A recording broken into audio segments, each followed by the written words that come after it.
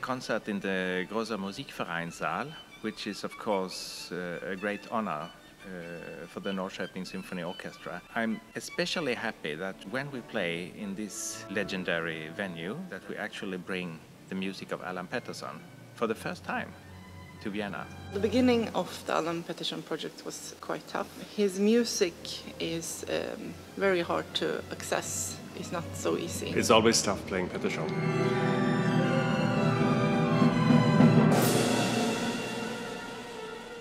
All of it somehow is expressing how he feels about life and his pains, his worries, his uh, nightmares, also his uh, great memories from back in time. Sometimes you can actually feel like his struggles uh, and his pain uh, and his love for music also.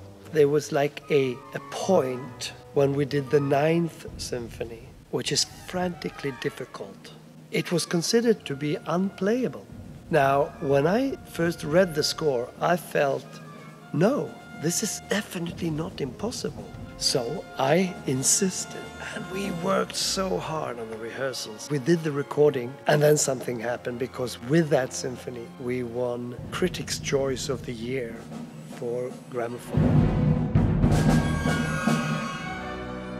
I'm very grateful that Christian brings this music and the Norrköping Orchestra because it's, uh, it's one of the most serious and deepest and touching musical works that evolved out of Sweden in the last century. Christian is an amazing uh, musician and you can really feel that he's so passionate about showing Allan Pettersson's music to the world. With him, you always want to do the best.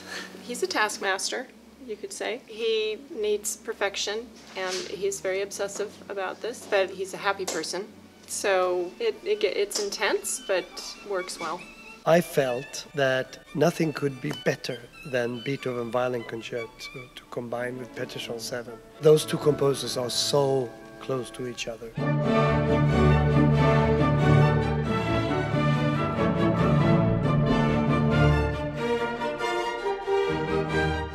We took details very, very accurate and we worked a long time ahead for the concert in order to prepare this. Even it's a repertoire concerto like Beethoven, but we don't want to deliver just another routine Beethoven.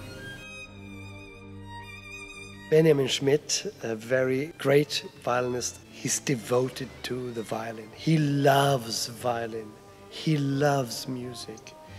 And he's so well prepared all the orchestra members are very keen to contribute to make uh, every performance as good as it possibly can, and uh, there is a, a, a joy of playing together, which you can actually hear. I think that's that's the most important that we're enjoying playing together and uh, we we give our best in the concerts. This friendly atmosphere uh, combined with uh, a high level of professionalism that everyone is always striving to, to be their, their very best.